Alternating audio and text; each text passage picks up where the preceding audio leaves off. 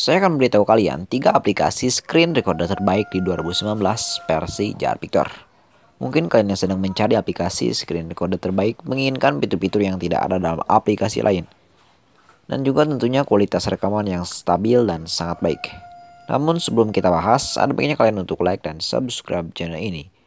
Jangan lupa juga untuk aktifkan lonceng notifikasi agar kalian mendapatkan pemberitahuan video-video terbaru dari channel ini.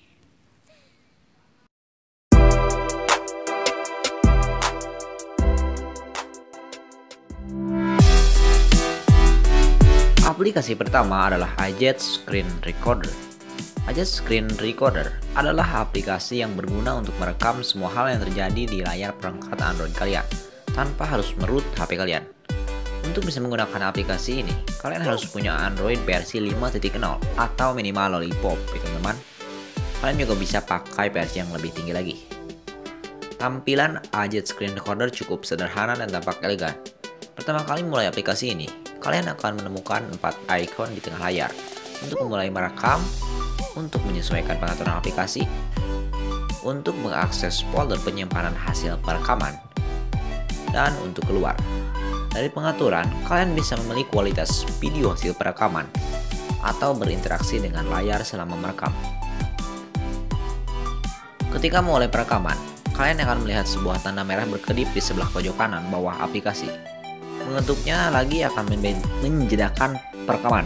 Mengetuk dan menahannya lalu menariknya untuk memindahkan tanda merah ke mana saja kalian mau. Ajet Screen Recorder merupakan sebuah utilitas yang bagus untuk merekam video dalam perangkat Android kalian. Kualitas yang dihasilkan sudah lumayan bagus, tidak ada cap air, tidak ada gambar yang hilang, dan tak ada batas waktu. Aplikasi ini merupakan pengganti yang sempurna untuk merekam permainan dan juga aplikasi yang sedang berjalan dalam Android kalian. Aplikasi kedua adalah DU Recorder. Fitur utama dari aplikasi ini yaitu menyediakan perekaman layar yang stabil dan lancar.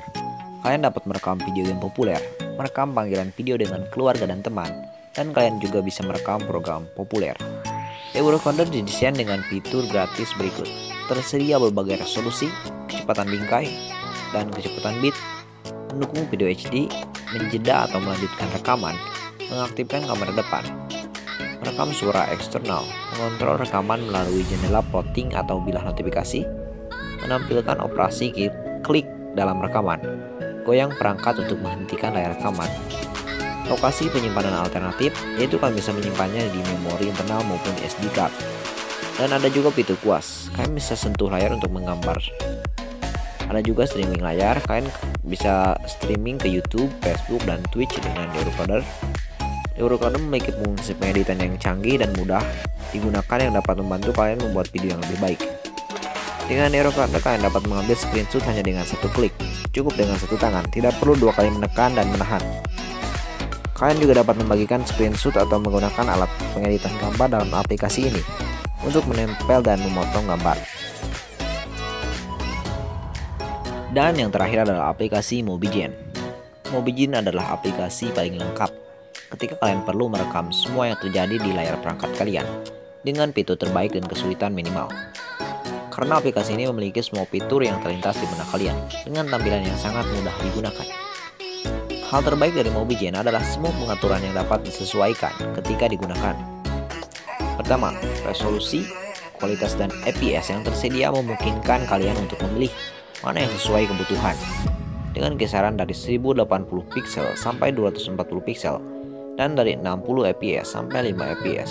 Kedua, aplikasi ini memiliki modus yang disebut Clean Recording Mode yang menyembunyikan air cycle, eh, watermark, mengatur waktu, kamera, kamera wajah, dan titik sentuhan sehingga video yang dihasilkan akan sangat jernih.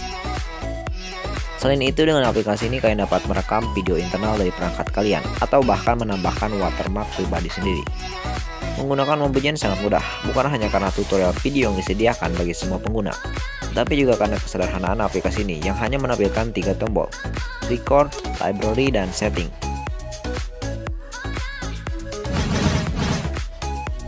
Oke teman-teman, kayaknya sekian video dari daftar terbaik kali ini. Semoga video ini bermanfaat bagi kalian. Jangan lupa untuk subscribe dan juga share video ini ke teman-teman kalian yang membutuhkan informasi ini. Baik teman-teman, saya Victor, sampai jumpa di video selanjutnya.